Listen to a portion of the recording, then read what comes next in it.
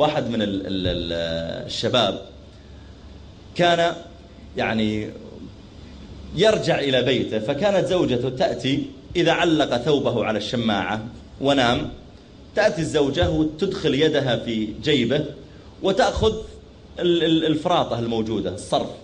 إن كان فيه صرف يعني منها القطع الحديد الفلوس تأخذها. الرجل يصحى الصباح أحيانا يريد يشتري ماء يشتري شيء ما يجد. يسألها وين هذه؟ تقول ما أدري يمكن أولادك. يوم من الأيام وهو راجع مر على محل يبيع حيوانات. يبيع قطط يبيع عصافير يبيع واشترى ضفدع. ضفدع اشتراه يعني بمبلغ يسير. وجاء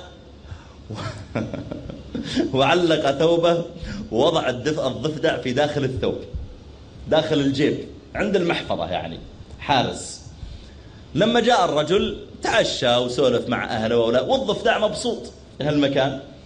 ف والثوب معلق على الشماعة. جاء الرجل وضع وضع رأسه على وسادته لينام. دخلت الزوجة بعدما مضى نصف ساعة. خلاص الدوام بدأ. دوام السرقة اليومية بدأ. فأقبلت وأدخلت يدها في جيبه. تدور المحفظة فتحرك الضفدع فرفعت يده وقالت آه يدي. ففتح عينه وقال آه جيبي.